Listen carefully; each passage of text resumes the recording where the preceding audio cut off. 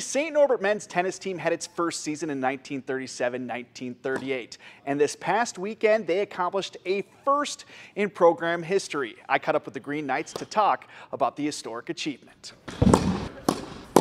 I think it's still sinking in that they've they've done something that no one else has been able to do. Last weekend, the Green Knights crushed Marion University 9 to nothing to clinch their first NACC title in school history. If you told me that we we would like win a conference title, I would I don't know. I'd have been like, really? We couldn't really believe that this had been the first time since 1936 or 37. We just were surprised and we're happy to be the first. This is head coach John Steckert's first full year coaching the program.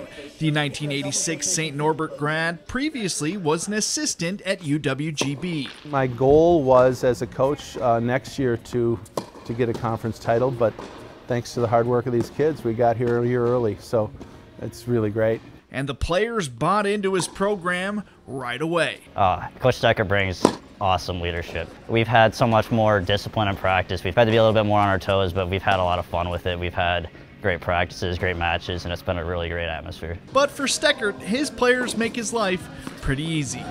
These kids have bought in big, and uh, they're also a quality bunch of kids. And you know, those are the with those things, its coaching part becomes very easy.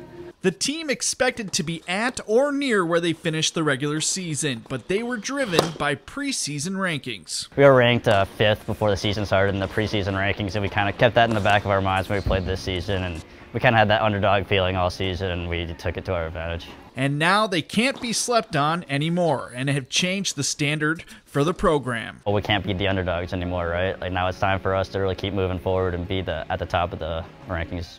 And St. Norbert begins the NACC tournament next Thursday as they look to make their way to the NCAA tournament. So good luck to the Green Knights.